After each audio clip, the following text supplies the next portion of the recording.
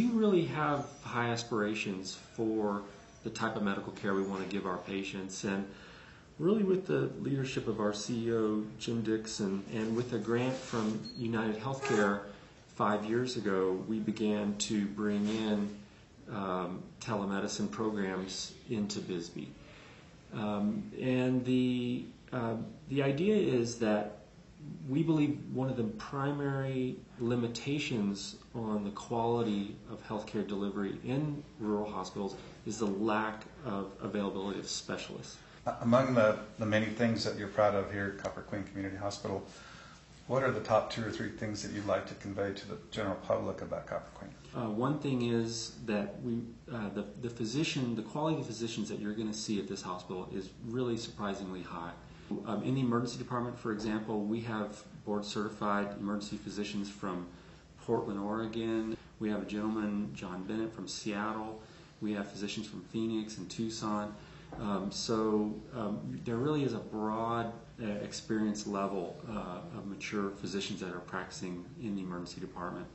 Also, uh, in our clinic system here, physicians like Dr. Avina, Dr. Romo, Heidi Lodge, Kathy Jones, uh, Dr. Coughlin, Dr. Polanco, Dr. McEntee. Uh, I think the level of physician care is very good. Other things I'd be proud of are, in general, the, the, the level of nursing care, um, our, um, our ability to bring specialists in through telemedicine. Um, so I think there's a lot of good things in a small package here. Absolutely. You mentioned uh, the nursing staff. I've had occasion to meet some of the staff, and, and obviously they're some of the most important people in the hospital next to the surgeons and physicians. And what, what do you think of your nursing staff?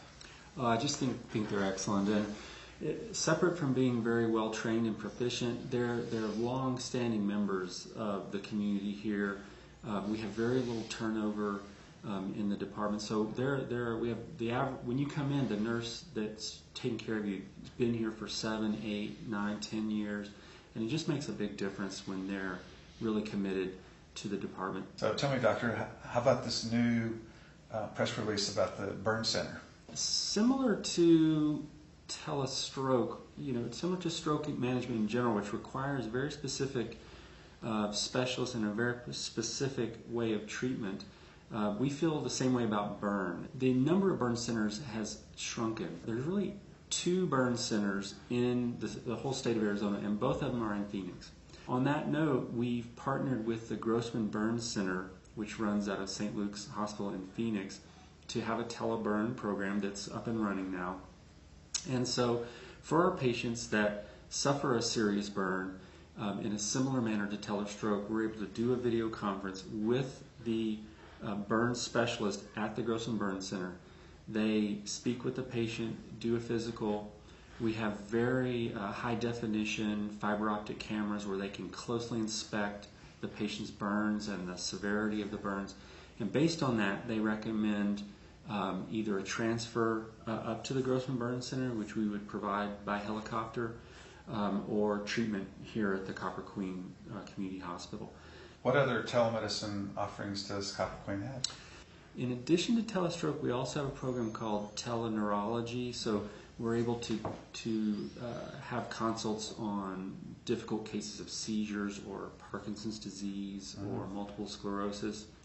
We have telecardiology, which is a very uh, helpful program um, if you come into our emergency department with a heart attack or uh, a heart rhythm problem we're able to have an immediate consult. We also do consults um, on if you're admitted as an inpatient, um, and we do have that program in the clinic, so you can be seen by uh, your cardiologist um, in our clinic system here in Bisbee um, without having to go to Tucson. We have a program for telepulmonology, um, so to treat emphysema, asthma, uh, pneumonia. Um, all of these programs are based on very prominent groups. Uh, telestroke, as you know, is at the Mayo Clinic uh, in Scottsdale. Telecardiology works with a very good group of cardiologists called Southwest Heart um, in Tucson.